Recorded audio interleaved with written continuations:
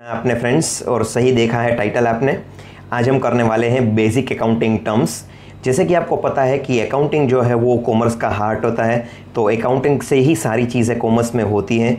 तो अकाउंटिंग का बेस जो है उसमें कुछ टर्म्स ऐसी हैं कि जो आपको करनी चाहिए, जो आपको आनी ही चाहिए।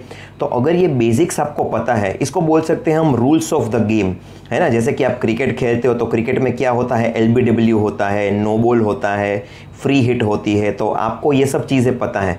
तो ऐसे ही जो अकाउंटिंग्स के रूल्स होते हैं, वो कैसे पता चलेंगे आपको? बेसिक अकाउंटिंग टर्म्स सीख के ही आपको पता चलेंगे। तो इसीलिए हम स्टार्ट कर रहे हैं अकाउंटिंग टर्म्स का पार्ट वन तो ऐसे में तीन या चार वीडियोस बनाने वाला हूँ। तो ये जो है वो हमारा फ़र्स्ट पार्ट है अकाउंटिंग टर्म्स के वीडियो का। So this professor Gaurav Mehta from Lakshya coaching centre Jamnagar let's start the video okay, friends, so the first term that we have here is the business transaction. तो friends business transaction क्या होता है? बहुत ही simple language में हम देखें। तो business transaction वो ट्रांजैक्शन है या वो एक्टिविटी है, या बोल सकते हैं कि वो इवेंट है, कि जिसको मेजर किया जा सकता है किसके टर्म्स में? इन टर्म्स ऑफ़ मनी जैसे कि यहाँ पे आप डायग्राम में देख सकते हो कि इन टर्म्स ऑफ़ मनी जो भी मेजर की जा सके, ऐसी एक्टिविटी होती है, उसको बोला जाता है बिज़नेस ट्रांजेक्शन जैसे कि for example in a bank I am depositing cash in the bank it is a business transaction okay I am going in the mall and I am purchasing something it is a business transaction क्यों ये business transaction है? क्यों ये activity और event है? वो business transaction किया जाता है, बोला जाता है इनको? क्योंकि इनको मेजर किया जा सकता है कौन से टर्म्स में? इन टर्म्स ऑफ़ मनी तो इनको इन टर्म्स ऑफ़ मनी हम मेजर कर सकते हैं, इसीलिए इसको बोला जाता है बिज़नेस ट्रांजेक्शन तो फ्रेंड्स मैं ये वीडियो जो है वो हिंदी और इंग्लिश दोनों मिक्स लैंग्वेज में बताऊँगा और बनाऊँगा, ताकि ऐसा हो कि आपको अंडरस्टैंडिंग जो है आपकी वो बेटर एंड बेटर होती जाए। तो चलिए बिज़नेस ट्रांजेक्शन का हमने डेफिनेशन देख लिया, मैं यहाँ पे पढ़ के भी बताता हूँ आपको। Business transaction is an activity और इवेंट या तो वो एक्टिविटी है, वो इवेंट है that can be measured in terms of money friends सभी डेफिनेशंस में मैंने कुछ पार्ट जो है वो अंडरलाइन किए हैं तो आपको वो वाला पार्ट खास देखना है, क्योंकि अगर वो नहीं लिखा आपने तो आपको ज़ीरो मार्क्स भी मिल सकते हैं।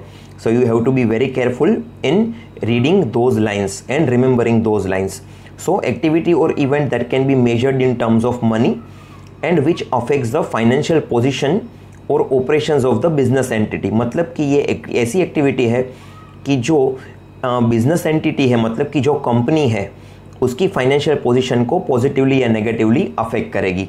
तो इसको बोला जाता है बिज़नेस ट्रांजेक्शन चलिए बेसिक चीज़ हो गई हमारी फ़र्स्ट टर्म हो गई business transaction let's see the next term so next term that we have is the event मैंने आपको बोला कि कोई भी एक्टिविटी या कोई भी इवेंट ऐसी है कि जिसमें पैसे का ट्रांजैक्शन होता है, जिसको मेजर किया जा सकता है इन टर्म्स ऑफ़ मनी उसको बोलते हैं बिज़नेस ट्रांजैक्शन तो आप बोलेंगे इवेंट क्या है? तो वो भी बता देता हूँ मैं इवेंट क्या है? So accounting event it is a transaction that is recognize in the financial statements of an accounting entity उसका मतलब क्या? कि इवेंट एक ऐसा ट्रांजेक्शन है. ट्रांजेक्शन मतलब कि एक्टिविटी आप बोल सकते हो है ना? तो इवेंट जो है वो एक ऐसा ट्रांजेक्शन है, ऐसी एक्टिविटी है कि जिसको रिकोगनाइज़ किया जा सके कहाँ पे? तो स्टेटमेंट्स में। स्टेटमेंट्स जैसे कि प्रॉफिट एंड लॉस अकाउंट होते हैं, वो एक बिज़नेस स्टेटमेंट हो गया। बैलेंस शीट होती है ट्रेडिंग अकाउंट होता है।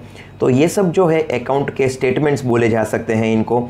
तो फाइनेंशियल स्टेटमेंट्स में जिसको लिखा जा सके, जिसको रिकोगनाइज़ किया जा सके, ऐसी एक्टिविटी को बोला जाता है इवेंट जैसे कि गुड्स परचेज कर लिया, किसी कंपनी ने रॉ मटेरियल परचेज कर लिया तो उसको हम ट्रेडिंग अकाउंट में दिखाएँगे, है ना? तो ये जो चीज़ है, उसको बोला जाएगा एक इवेंट तो इवेंट क्या हो गया कि रॉ मटेरियल हमने परचेस किया, वो हो गई एक इवेंट चले फ्रेंड्स देखते हैं next definition next one is the drawings है ना? जैसे कि आप यहाँ पे डायग्राम में देख सकते हो, हमने सारे के सारे जो भी डेफिनेशंस है यहाँ पे, उस कॉन्सेप्ट को बहुत ही इजी बनाने के लिए यहाँ पे आपके पास कुछ ऐसी इमेजेस भी रखी है कि जिसको देख के ही आपको याद आ जाएगा और एग्ज़ाम में पता चलेगा कि मुझे लिखना क्या है। तो ऐसा कभी नहीं होगा कि आप पूरा का पूरा रिवर्स ही लिख दें या आपको कुछ याद ना आए, ऐसा हो ही नहीं सकता, अगर एक बार भी आपने ये वीडियो देखा है तो। तो फ्रेंड्स ड्राइंग्स क्या है?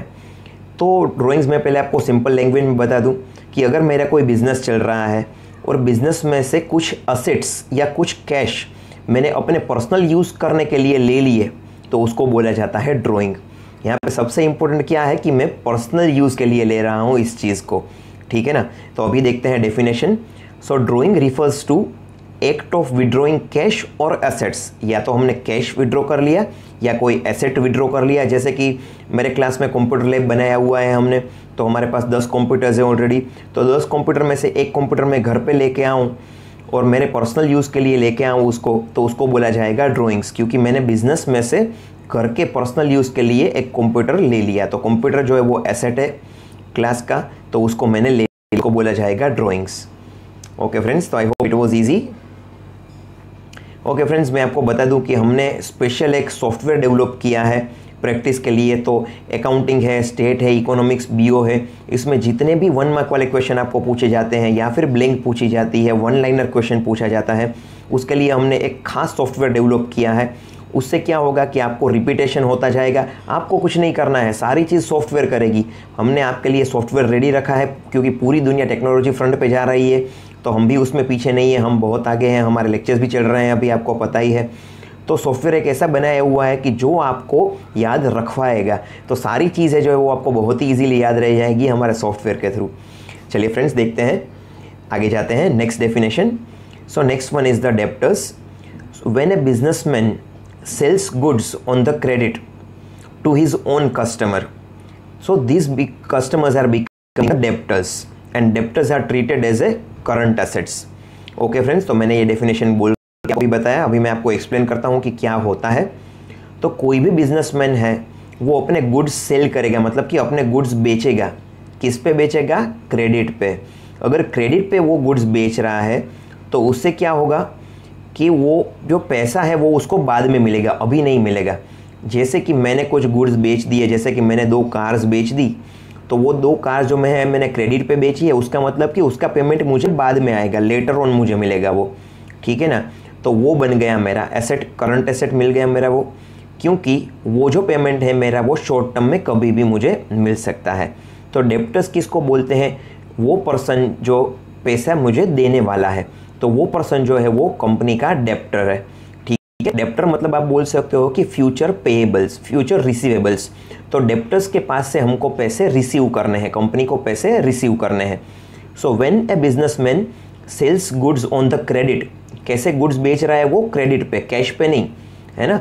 अभी उसको पैसा नहीं मिला क्रेडिट पे बेचा है उसने टू हिज कस्टमर्स तो ये जो कस्टमर्स है वो बन गए क्या? डेप्टर्स बन गए कंपनी के लिए। ठीक है मतलब कि फ्यूचर रिसीवेबल्स चलिए आगे जाते हैं। Next one is the creditors तो फ्रेंड्स क्रेडिटर्स क्या होते हैं? डेप्टर्स का बिल्कुल उल्टा ले लीजिए आप तो वो हो गए creditors when a business businessman purchases goods on credit अभी क्या है? मेरा बिज़नेस है। मैं गुड्स परचेज कर रहा हूँ, लेकिन गुड्स मैं कैसे परचेज कर रहा हूँ? ऑन क्रेडिट है ना? मैं कैश पैसा नहीं दे रहा हूँ, उसको अभी के अभी पैसा नहीं दे रहा हूँ। I am purchasing the goods on credit मतलब कि क्या होगा? कि मेरे कस्टमर से जिसके पास से मैं लेता हूँ है ना? या किसी भी पर्सन के पास से मैं जब भी कुछ गुड्स लेता हूँ, मेरे कस्टमर से भी मैं ले सकता हूँ, किसी और से भी ले सकता हूँ तो जब भी मैं कुछ परचेज करता हूँ क्रेडिट पे तो ये जो कस्टमर्स है कि जिससे मैं लेता हूँ, वो कौन बन गए मेरे creditors so they are my creditors तो क्रेडिटर्स क्या है? They are treated as a current liability क्योंकि इन लोगों को मुझे पैसा वापस देना है। तो ये जो है वो मेरे फ्यूचर पेएबल्स है। क्योंकि मैंने क्रेडिट पे माल लिया है क्रेडिट पे कुछ गुड्स लिए हैं तो उसको मुझे वापस देना है। उसका मतलब क्या हुआ कि मैं जो है, मुझे जो है वो वापस गुड्स उनको देने हैं। उसका मतलब कि ये जो कस्टमर्स है, वो है मेरे क्रेडिटर्स डेप्टर्स का बिल्कुल उल्टा friends I hope you can understand the term अगर कुछ भी डाउट है तो आप मुझे कभी भी कॉल कर सकते हैं, या फिर मेरे कमेंट बॉक्स में भी आप लिख के बता सकते हैं कि, सर, ये आप एक्सप्लेन कीजिएगा फिर से। हम बहुत सारी टर्म्स एक्सप्लेन करने वाले हैं। इसीलिए मैंने छोटे छोटे वीडियोस बनाने का डिसाइड किया है। ताकि आपको जो है कॉन्सेप्ट थरली समझ में आ जाए और कुछ भी बाकी ना रहे। चलिए फ्रेंड्स आगे जाते हैं। So next term is the purchase so purchase जो है उसका बहुत ही सिंपल मीनिंग है। जैसे कि हमारी नॉर्मल लाइफ में मीनिंग होता है ऐसा ही मीनिंग परचेज का यहाँ भी है। तो फ्रेंड्स परचेज का मतलब क्या हुआ कि हमने कोई भी गुड्स परचेज किया बिज़नेस के लिए फॉर द बिज़नेस एक्टिविटी तो इसको बोला जाता है परचेज मेनी आइटम्स और services are purchase in the business. तो बहुत सारी आइटम्स या सर्विसेज़ जो है वो बिज़नेस के लिए परचेज की जाती है। And they are the expense of the business of course they are the expense of the business क्योंकि मैंने कुछ परचेस किया है तो उसके लिए मैंने पेमेंट भी ज़रूर किया होगा। That means they are the expenses of the business and this purchase can be in the cash और क्रेडिट फॉर्म जैसे मैंने आपको बताया कि क्रेडिट पे भी मैं कुछ परचेस कर सकता हूँ, है ना? या फिर मैं कैश में भी कुछ परचेस कर सकता हूँ। तो purchase can be in cash also it can be in credit form also चलिए फ्रेंड्स नेक्स्ट हम देखते हैं सेल्स मतलब कि इसका एग्जैक्ट रिवर्स तो सेल्स में क्या होता है? Businessman receives different type of incomes from the business तो बिजनेसमैन जो है वो अलग अलग टाइप की इनकम जो है वो रिसीव भी करता है बिज़नेस में, है ना?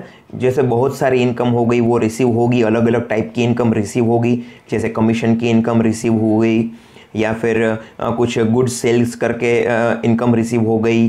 या फिर अपना ब्रांड नेम जो है वो शेयर करके या बिज़नेस अलायंस करके भी इनकम हो गई।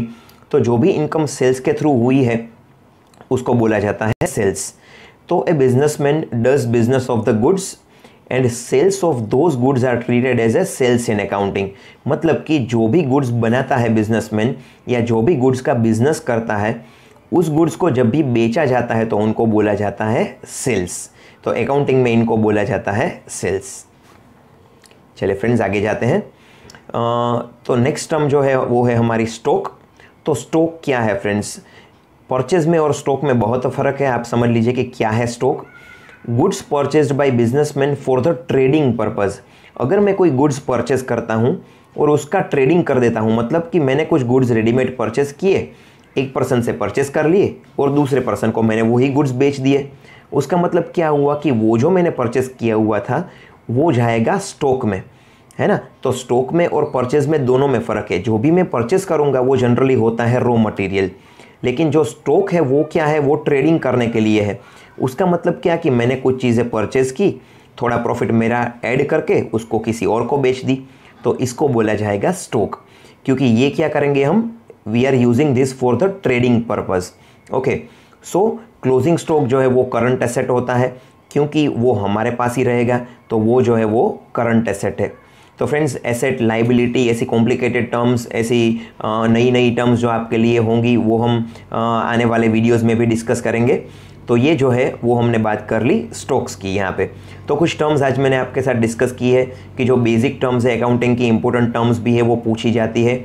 और अगर आपको अच्छे से इलेवन, ट्वेल्थ कोई भी टेंशन के बिना पढ़ना है तो ये टर्म्स आपके लिए बहुत ही ज़रूरी है फ्रेंड्स। एक भी टर्म मिस मत करना, एक भी वीडियो मिस मत करना। तो फ्रेंड्स ये सारी चीज़ें हैं जो मुझे आपको एक्सप्लेन करनी थी।